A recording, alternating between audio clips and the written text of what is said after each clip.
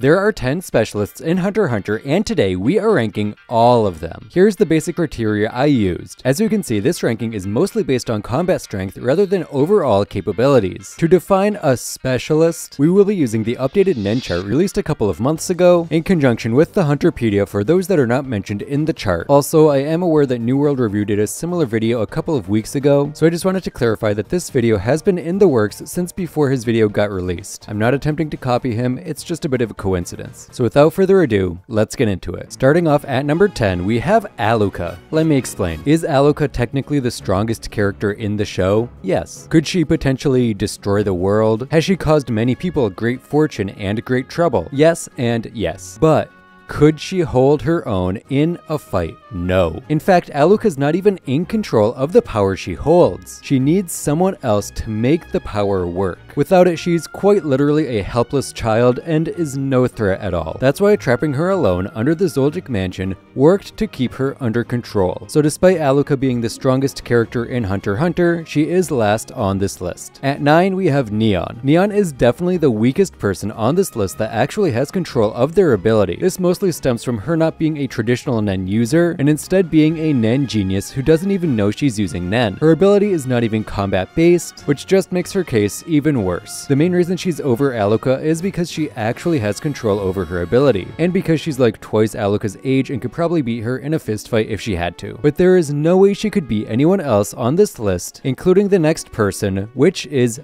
Hina. Hina is in a weird place. Her ability is not combat based at all, as she is a Nen exorcist, but her physical strength is off the charts. Like she just casually picks up an enormous piece of stone. While this isn't a huge feat compared to some Nen users, it is a lot compared to the people below her. Unfortunately, we don't get to see a ton of Hina in Hunter Hunter, which makes ranking her accurately kind of hard, but based on what we do see, I think 8th is the best place for her. At number 7, we have Meleoron. Meleoron is another weird one to rank. He is almost definitely physically weaker than Hina, but he has one of the best Nen abilities in the show. God's Accomplice would be a huge threat if it was in the hands of someone that could use it more effectively. It allows the user to become invisible and undetectable by any means, but the user must hold their breath to do so. Despite this ability, I don't think Meleoron will succeed in many combat situations. As I mentioned, he lacks the physical strength most ants have, but the main reason he's down here is because of the flaws of his ability. Meleoron can still get hit while using God's Accomplice. While he might be able to beat some opponents using a hit and run technique, any opponent whose ability has a large area of effect will be able to hit him and kill him without much trouble. So despite having one of the best abilities in the show, I don't think I can put him any higher. Following Meleoron at number 6, we have our third Chimera Ant,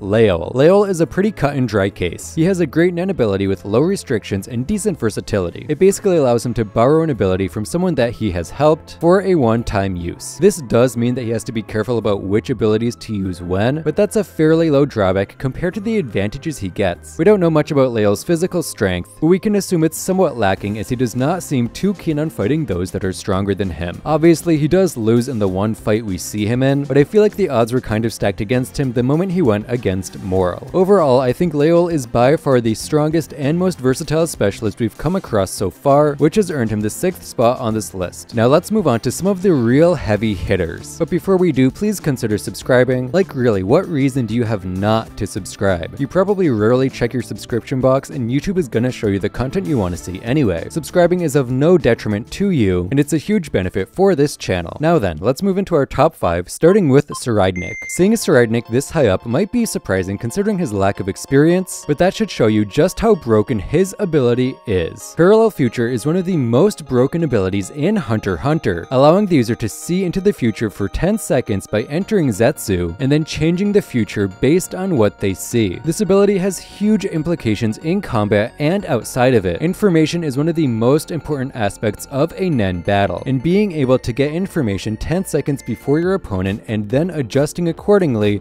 is a huge huge advantage. The only real drawbacks are that you have to use Zetsu to get into it, and like God's Accomplice, it is weak to abilities with a huge area of attack. This is because the user cannot avoid these attacks even with the knowledge it is coming. It is also likely that he is weak to being outsped, because if someone can move faster than he can enter Zetsu, he will probably lose straight up. Oh, and that's not even talking about his Nen Beast, which he also has working for him. To be honest, it's kind of hard to take this beast into consideration for combat as we've never seen it in a direct combat situation. We know it can hurt people who lie to the prince, but we don't know if it can defend him directly or what that might look like. For this reason, I'm choosing to weigh the Nen Beast less than his actual ability because it's hard to rank something if you don't really know how it works. At number 4, we have Paku. Paku is another one that's kind of hard to rank, but she has two advantages that no one else on this list has guns. But seriously, every person in the Phantom Troupe is a strong Nen user, and Paku is no exception. Despite having two abilities that are not combat related, she is still a strong fighter. This is partially because of her Glock, and partially because of her mind reading capabilities. If she even lays a hand on an opponent and asks a smart question,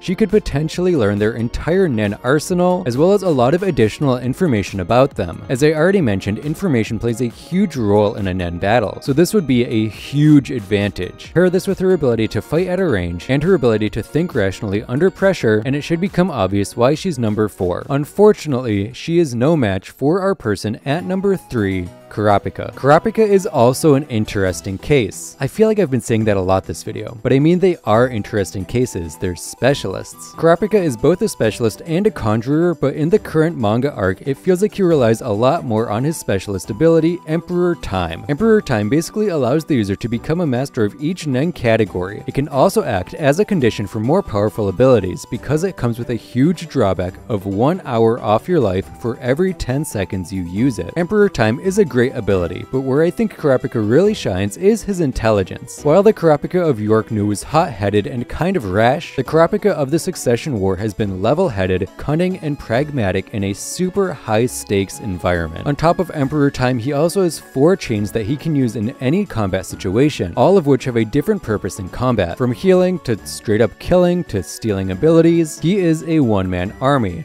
and one that has proven himself against some of the strongest Nen users in the show. Our second place contender is quite literally the opposite of Kurapika. It's Chrollo. I went back and forth on whether Kurapika or Chrollo should be number 2. In a head-to-head, -head, would probably win, but in general, I think Chrollo would have an easier time against a wider variety of opponents than Kurapika would. He has a huge number of abilities at his disposal, and with the improvements to Skill Hunter that happened in the manga, he has become a serious combat threat. The ability to use two completely different Nen abilities in conjunction is crazy, especially when it can be any two abilities. Imagine using Indoor Fish with Cross Game. That's literally just a free win. In fact, Indoor Fish with almost anything is kind of broken. You know what else is kind of broken? being able to use one ability without holding the book, which is also something Chrollo can do in the manga. He mentions there are more restrictions when it comes to acquiring an ability, but that's not a terrible restriction because it does not impede how he uses the ability once it is acquired. Much like Kurapika, Chrollo's main strength is his intelligence. He was able to see right through Kurapika in York New, and he also came up with a winning strat against Hisoka, which is a pretty hard thing to do. He also predicted the invention of the internet, which is absolutely insane for a child to do and a child of Meteor City no less. He has proven his intellect time and time again, showing that he is one of the most intelligent characters in the show and worthy of the number 2 spot on this list.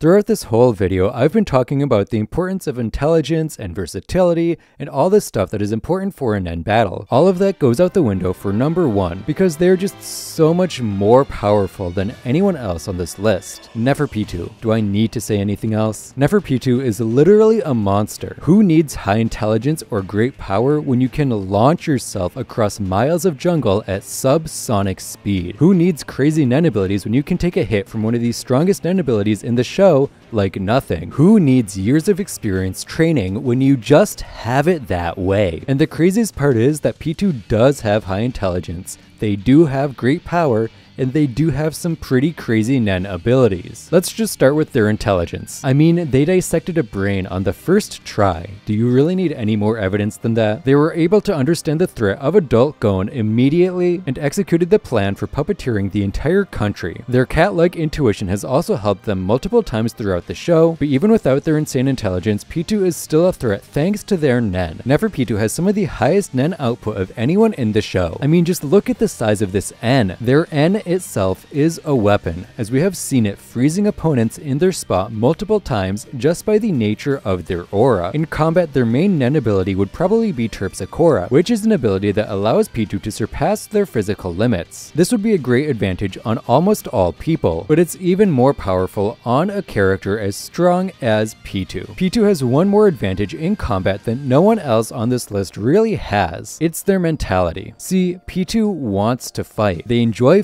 and they enjoy going after strong opponents. This is an advantage when you're fighting someone that doesn't want to fight or only fights when they have to. Fighting someone who wants to fight is completely different than fighting someone who has to fight. It's a small determination, but it's one that's important to note, especially when doing these rankings. Thanks for watching. Let me know your thoughts in the comments down below. If you enjoyed this video, the best way you can support me is to watch another video back to back. And if you didn't, let me know why in the comments down below. Thanks again for watching, and I'll see you next week for another video.